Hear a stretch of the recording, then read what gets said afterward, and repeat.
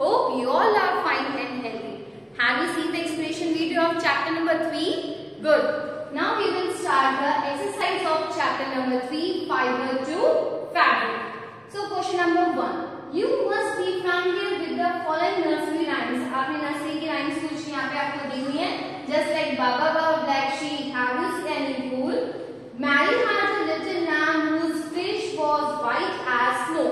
ये कुछ नर्सरी की राइम दी हुई है इनके बेसिस में कुछ क्वेश्चन दिए हुए हैं so the first question is which part of black sheep have wool के कौन से पार्ट के पास वूल होता है? So answer is wool is obtain from heavy fibres of the sheep sheep के जो हेवी फाइबर्स होते हैं जो उसको हमने फ्लीश बोला था because we get the wool from that heavy fibres question number two What does means when the white fleece of the lamb? White fleece का मतलब क्या होता है? So white fleece of the lamb furs refers to the white color of their fur. जो उनके fur होते हैं, जो उनके hairs होते हैं शिप के, we call it a white fleece. Second question, the silkworm is. अब silkworm क्या है? Silkworm is caterpillar and larva. So the correct answer is both A and B. It means we call the silkworm a caterpillar and a larva.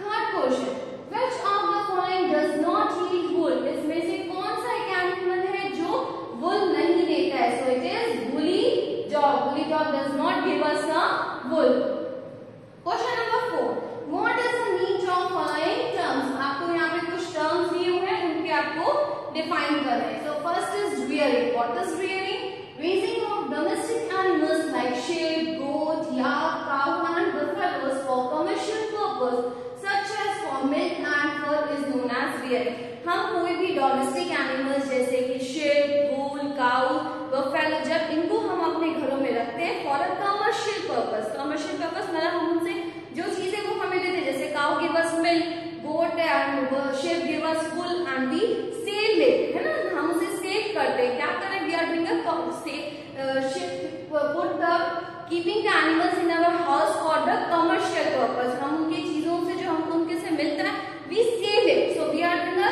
we stay the keep the animals with us for the commercial purpose this is known as rearing second is shearing it is the first step of processing fibers into wool the fish of the sheep along with thin layer of skin is removed from its body this purpose is called shearing ये first step है processing fibres into wool का इस इस process में क्या होता है?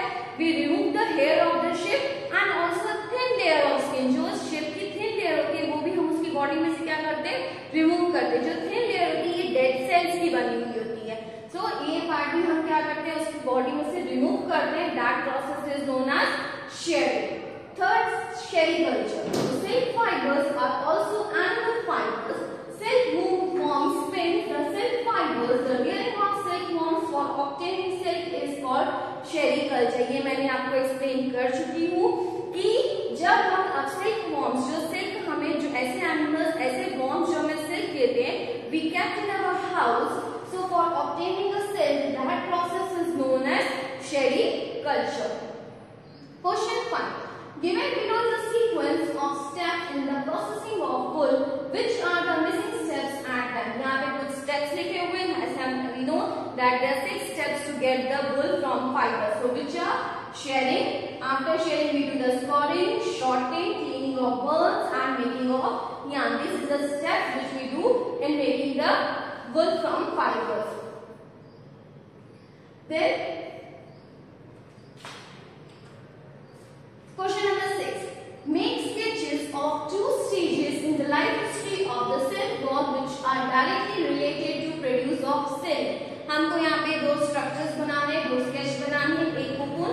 और एक इसका बनाएँगे with developing moth you can it pupa ठीक है, ये आप कोकून का एक डायग्राम बनाओगे? और एक कोकून विद डेवलपिंग मोड का डायग्राम बनाओगे। ये हिस्ट्री होती है मोड की।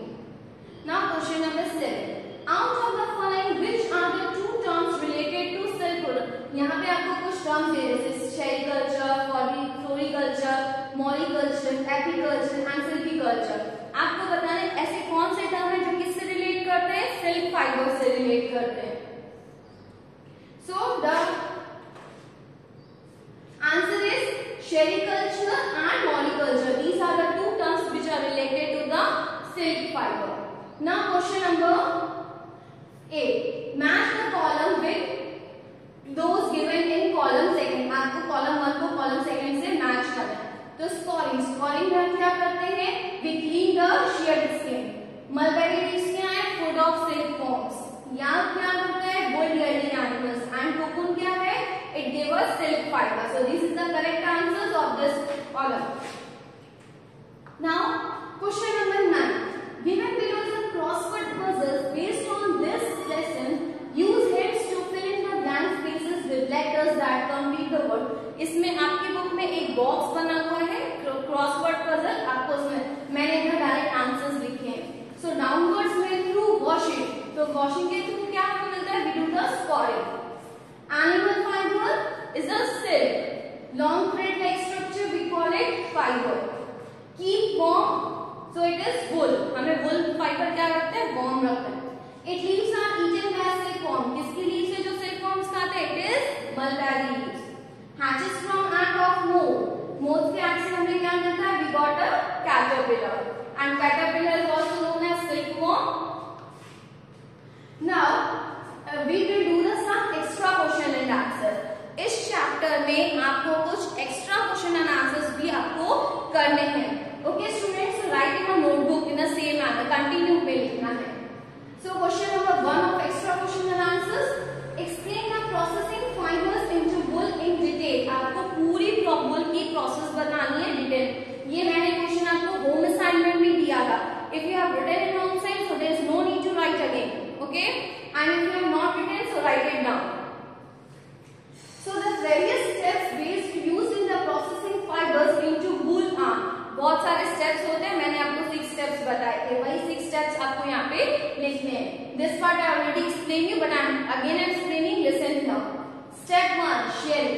As you know shearing means that we removing the hair of the sheep and the dead skin with the hairs the flesh of the sheep along with the thin layer of skin is removed from its body this process is called shearing usual hair is remove during the hot weather मैंने आपको बताया था कि हम hot weather में उनके hairs remove करते हैं अगर हम कोल्ड वेदर में निकालें तो उन्हें ठंड लग जाएगी and they will die so that's why we remove the hair in a hot weather These enable ships survive without their protective coat of hair. Hot weather में उन्हें कोई protective layer की नीड नहीं होती है Their hair provides woolen fibers. उनके hairs हमें क्या देते हैं woolen fibers देते हैं woolen fibers are then processed to obtain woolen yarns. woolen fiber से क्या बनता है we get woolen yarn.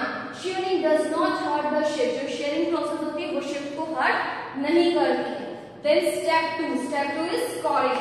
What is the name of the second step? The name of the second step is scoring. So what we do in scoring?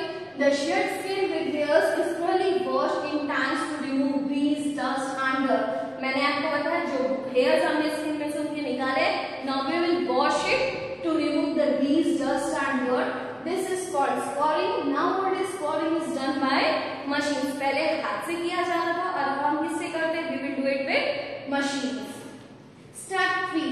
Shorting. What is the name of the step 3? Shorting. After scoring, shorting is done.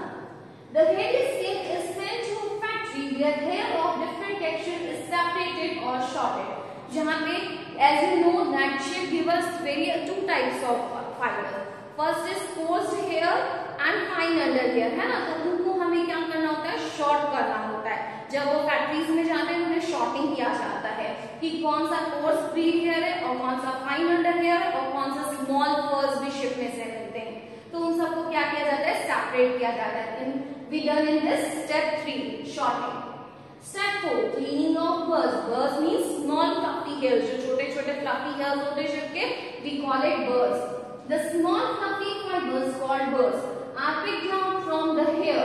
These are same birds which sometimes appears your sweater और कुछ कुछ रेशे type के हैं birds कहते हैं वो हमारे स्वेटर्स में भी देखने को मिलते हैं the fibers are scoured again and dried उसको वापस से वॉश स्कॉट किया जाता है वॉश किया जाता है और उसे फिर से सुखाया जाता है This is wool ready to drawn into fiber. अब हम इससे डायरेक्टली wool बना सकते हैं. Now step five is dyeing, dyeing process, है ना? What is the name of the step? It is dyeing. So the fibers can be dyed with various colors as the natural fleece of sheep and goat is black, brown और जो हमें natural colours के Wolves जो मिलते हैं that is white black और a brown but we want a different colour so we will do a dye process हम उनको कलर करते हैं. Step 6 rolling into yarn the last step is rolling into yarn the fibres are in combs and rolled into yarn अब उन्हें हम क्या करते हैं? स्ट्रेट करते हैं, उन्हें कॉम करते हैं और फिर उन्हें हम उनके याम्स बनाते हैं. The long fibers are made into wool for sweaters and the shorter are spun and woven into the woolen जो longer fibers होते हैं उसमें से हम sweaters बनाते हैं और जो shorter fibers होते हैं उनको हम फिर से woven करते हैं और इसका यूज़ बनाते हैं we make a woolen cloth. Question number two. Explain the wearing of silk silkworm. अब silkworm की wearing बताना है उन्हें आप कहाँ रखते हैं कैसे रखते हैं all this thing we will do in a this topic. So answer is a female silk moth lays hundred of eggs at a time. हम female silk क्या करती है hundred of eggs देती है at a time. The eggs are sorted carefully on strips of paper हम पूरे ads को कहाँ पे रखते हैं? एक क्लोथ में और एक पेपर में रखते हैं। And sold to the farmers और हम उसे कहाँ सोल्ड कर देते हैं? सिल्फॉर्म फार्मर्स के पास the farmers keeps and under hygienic condition and in the stable condition of temperature फिर एंड यू नो जो एंड्स होते हैं, उन्हें हेल्थ के लिए एक सुटेबल कंडीशन और एक अच्छे टेम्परेचर की ज़रूरत होती है, वो कौन प्रोवाइड करता है? सिल्फॉर्म फाइबर से प्रोवाइड करते हैं और उन्हें ह्यूमिडिटी की भी नीड होगी the eggs of for the larva to hatch from eggs अब उन्हें क्या होता है? एक उन्हें बहुत गर्म टेम्परेचर की नीड होती है। जितना ज़्यादा टेम्परेचर गर्म होगा, उतना इजीली जो एग में से क्या प्रोड्यूस होंगे? Larva as you know larva is also known as caterpillar और a silkworm This is done when mulberry trees bear a fresh crops of leaves. ये प्रोसेस कब होती है? जब मलबेरी ट्रीज क्या प्रोड्यूस करते हैं? फ्रेश लीव्स प्रोड्यूस करते हैं। The larva the larva called caterpillar or silkworms eat day and night and increase enormously in size. वो जो मलबेरी लीव्स होती है वो कंटिन्यूसली डे और नाइट रहते हैं और वो इजिली क्या हो जाते हैं साइज़ में इंक्रीज होते जाते हैं The larva are caught in clean bamboo trees along with freshly chopped mulberry leaves. अब जो कैटरपिलर है कैटरपिलर बोलो लार्वा बोलो दे आर सेम उन्हें हम क्या करते हैं एक क्लीन बैम्बू ट्रे में रखते हैं और उसमें हम कुछ मलबेरी लीव्स भी चॉप करके रखते हैं ताकि वो इजीली मलबेरी लीव्स को ले सके। After 25 to 30 days, the caterpillar stop eating and move to a tiny chamber of bamboo in a tray to spin cocoons. अब क्या करेंगे? 25 to 30 days के बाद वो खाना बंद कर देते हैं और फिर वो टाइनी बॉबू के टाइनी चैम्बर्स में चले जाते हैं ताकि वो कुकुन को स्पिन कर सके Small rats or twigs provided in the tray to which cocoons और कुछ बहुत छोटे छोटे डंडियाँ भी रखी जाती ताकि वो इजिली कुकुन को स्पिन कर सके The caterpillar silkworm spin the cocoon inside which develops the silk moth और उसके cocoon के अंदर क्या डेवलप होता है एक silk moth डेवलप होता है So this is the process of wearing silkworm. Now question number three. Explain the processing of silk fiber. A pile of cocoon is used for obtaining silk fibers. Pile of cocoons मतलब बहुत सारे cocoons की need होती है silk fiber चाहिए The cocoons kept under the sun or boiled or exposed to skin. जो cocoons होते हैं उनको हम कहाँ पे रखते हैं? We keep it in the sun or a boiled uh, exposed to skin. हम उनको boil करते हैं cocoons को या तो उन्हें हम sun के temperature में रखते हैं क्योंकि cocoons के लिए हमको cocoons उनकी body में से remove करना होता है तो उनको बहुत high temperature की need होती है The silk fibers separate out जैसे जैसे उसको टेम्परेचर मिलता जाएगा उसमें से सिल्क फाइबर्स क्या हो जाएँगे सेपरेट हो जाएँगे The process of taking out threads from the cocoon for use silk is called weaning of the silk. ये जो process होती है कि जब हमने cocoon में से silk threads निकाला to make a silk, that process is known as weaning of the silk. Weaning is done in special machines which unwind the threads or fibers of silk from the cocoon.